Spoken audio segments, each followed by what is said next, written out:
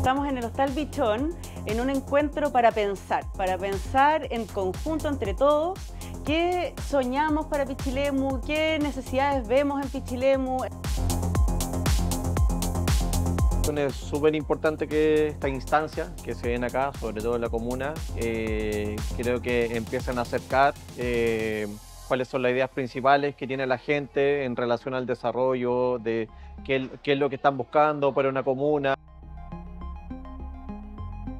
Me parece muy importante como para conectar a la ciudadanía, como para hacer como agarrarnos de la narrativa de que las cosas sean colectivas realmente, porque siempre está como existencia de la democracia, podemos hacer esto colectivo, toda la ciudadanía puede opinar, pero sin embargo en la praxis eso no está. Así que estas instancias me parecen súper como para conocer igual las propuestas y la calidad humana igual, porque sabemos que detrás de esto hay un plan político, pero me parece importante como conocer la calidad humana, la propuesta, la línea de, valórica y moral que tiene esta persona que se supone que nos va a representar.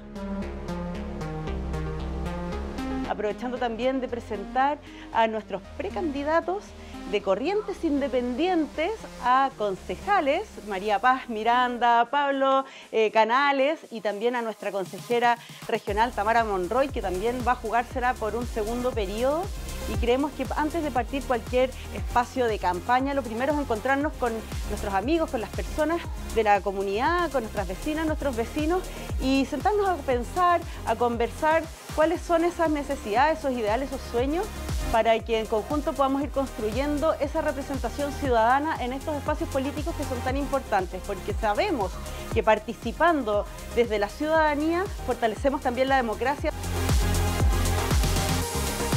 Eh, es importante que se generen en la comuna para que también todas las personas que van a votar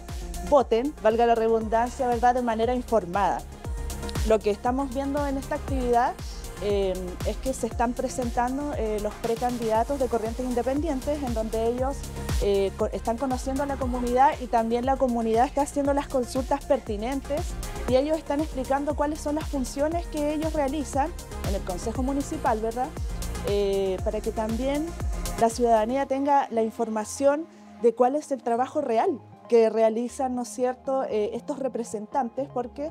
eh, en, en, algunas mayorías, ¿no es cierto?, la gente no reconoce o no sabe cuáles son las reales funciones que ellos realizan.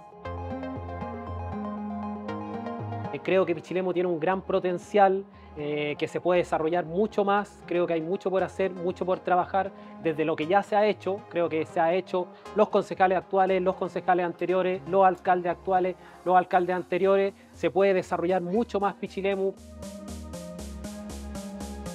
Eh, fue una instancia maravillosa de conocernos, vernos las caras y poder construir entre todos un Pichilemu eh, que incluye todas las voces, Pichilemu que piensa. Me da mucha esperanza porque es algo que vengo trabajando hace mucho tiempo, que es el trabajo directo con las comunidades. Entonces cuando se dice que las personas no quieren participar, que no están interesadas, muy al contrario, hay un interés en conocer los roles de las diferentes autoridades, hay un interés en saber qué es lo que está ocurriendo en la comuna y lo más importante, hay ideas, hay sugerencias y hay una intención de trabajar en comunidad con quienes van a representarnos en los próximos cuatro años.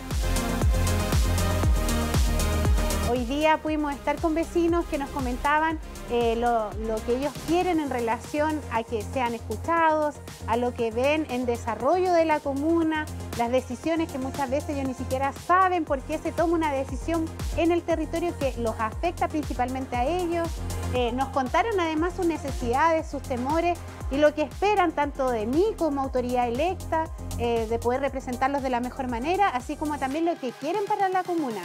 Una instancia bastante bonita porque de esta forma nosotros también vemos de que los vecinos no son solamente importantes cuando van a votar. Sabemos también que Pichilemu tiene una comunidad muy movida, con muchos intereses, porque todos queremos y buscamos una calidad de vida, una manera de vivir que sea más sana y más relacionada con el medio ambiente, inclusiva, con una gran diversidad de miradas.